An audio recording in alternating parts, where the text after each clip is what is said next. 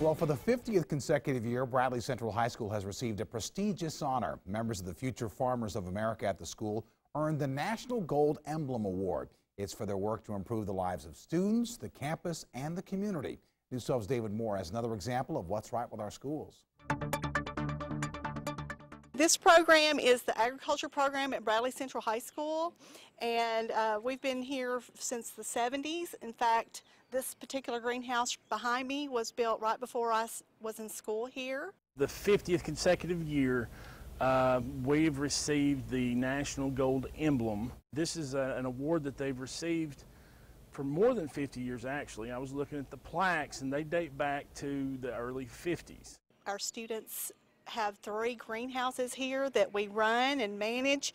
Uh, they have a business where they sell plants to the public. I'm able to learn how a business works, how it starts and how it finishes. I'm able to follow things through. We also have um, the program on the animal science program. We purchase our animals, we raise them up, and then we take them to the shows and exhibit them.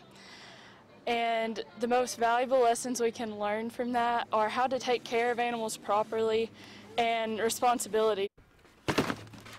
We also do natural resources where we teach our students how to take care of the environment. The students are very involved in leadership activities. I spent the entire month of June in Martin, Tennessee, which is about five and a half hours away from here. It was really just an eye-opening experience for me to see that there's so much more to the agriculture industry than what actually meets the eye and they do quite well in uh, all areas, animal science, environmental science, and plant science.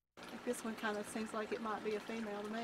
We also have an aquaculture program where we have brought in fish so we can teach our students how to monitor uh, the water. I think one of the most important things about this program is that it enlightens students to what they do like to do and they're learning about careers and um, college opportunities that they can go into and a lot of kids have that passion when they come through our program they get they have they find a direction Great job, Bradley Central. If you have an idea for a story, go to our website, WDEF.com. Look for the icon that says What's Right with Our Schools, and you're going to find a link to post your story idea.